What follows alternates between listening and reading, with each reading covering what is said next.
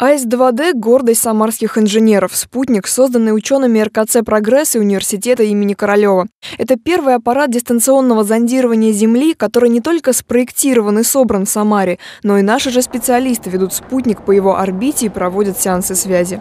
Ну, если не на крыше мира, то точно можно сказать, что мы находимся на крыше «Прогресса». Сзади меня сфера, а внутри нее антенна, которая принимает сигнал из космоса. Внизу специалисты этот сигнал расшифровывают, чтобы увидеть Землю такой, какой ее видит наш самарский АИС-2Д? В комплекс обработки поступает Рафаэл. Рафаэл он представляет собой некую такую структуру букв, цифр, знаков, которые структурированы там в столбцы и в строки.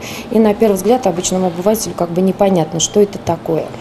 Все это начинает преобразовываться в видеоданные, э, одновременно формируется телеметрия. Телеметрическая информация подтверждает, АС-2Д надежды своих создателей оправдывает. И прежде всего это касается оптико-электронной аппаратуры «Аврора». Это фактически комплекс, через который ребята, операторы, в основном молодые ребята, да, а, могут заниматься съемкой земной поверхности. Их можно сравнить с фотографами, у которых на вооружении очень хорошая дорогая техника. В сутки аист может снимать более 80 тысяч квадратных метров земной поверхности. Это как две Швейцарии. Причем для аппарата это не предел, уверены специалисты. Свой первый снимок комплекс сделал 11 мая и с тех пор отснял больше трех миллионов квадратных километров земной поверхности. Высокое качество кадров не может не радовать специалистов, ведь это значит, что все конструкторские и технические решения были верными. Аппарат действительно сейчас прилично работает, у него высокие качественные характеристики для своего класса, и все блоки и устройства работают нормально, и мы постоянно получаем информацию с этого космического аппарата.